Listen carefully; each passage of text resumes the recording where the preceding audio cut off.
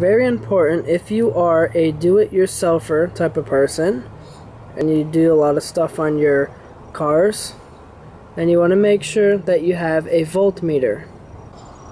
Here are some tips that you can use to prolong the life of your car battery. Do this a few times a year, but after the battery is two years old, then you might want to check it more often to catch it when it's going bad before you get stuck and you can't start your vehicle one day. I'm going to hook up the voltmeter, red positive, black negative, and then we're going to see what voltage we get.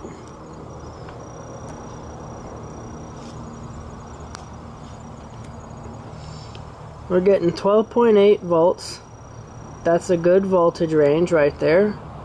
If it's below 12 and a half, then it needs to be charged.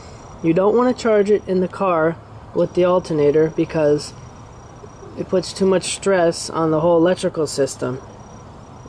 Another thing you're going to want to get if you do this stuff is a battery charger where you can take the battery out of your car and bring it inside and hook it up and plug it in to a wall outlet and charge it that way.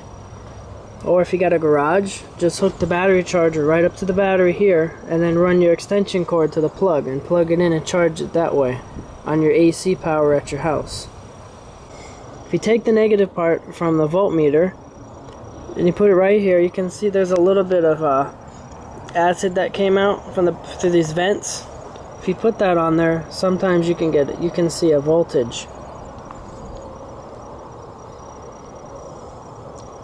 Look at that. That's crazy. See that? I'm not even touching. See, I'm not touching the negative terminal and I'm getting a voltage reading.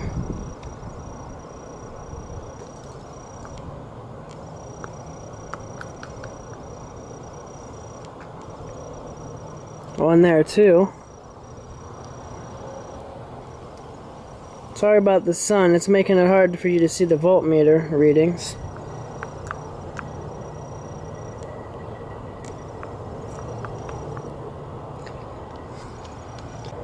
You need to get a little bit of baking soda and water and put it right here. Not too much because you don't want it to go inside of here and get into the battery. Clean this off.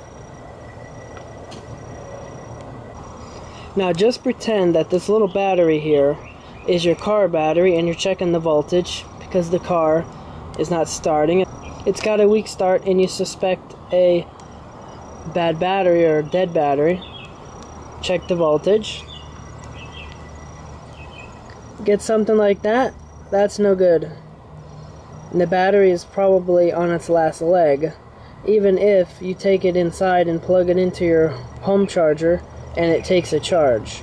It's still going to go bad soon and you should get a new battery.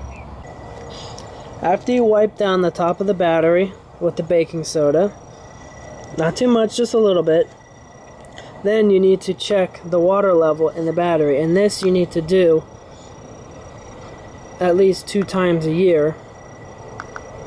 If you drive the vehicle a lot, you should check it more often because you'll lose water through electrolysis. When the battery is charging, you lose water. Make sure you wear safety goggles when you do this. Get a flathead screwdriver, put it underneath, and start to wedge open this cover.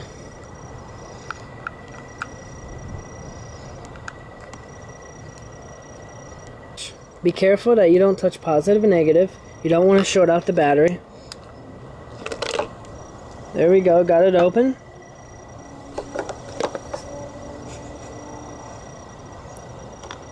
You can see some more water there with electrolyte. You look inside each cell. Each cell in there looks full.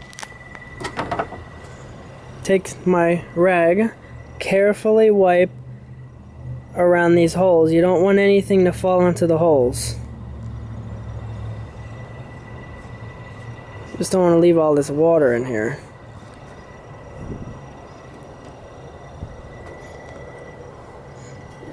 If the battery does need water, you need to replace it with distilled water only.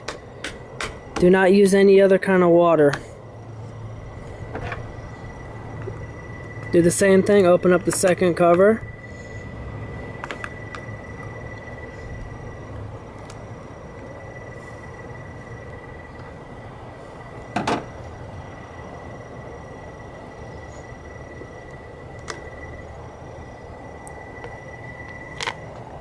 Look inside at the cells, make sure they got enough water.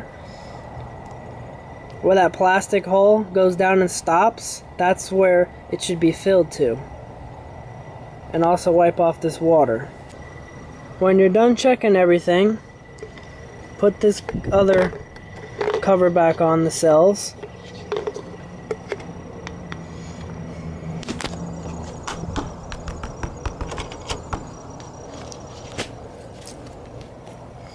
Make sure that the terminals are nice and clean, there's no corrosion.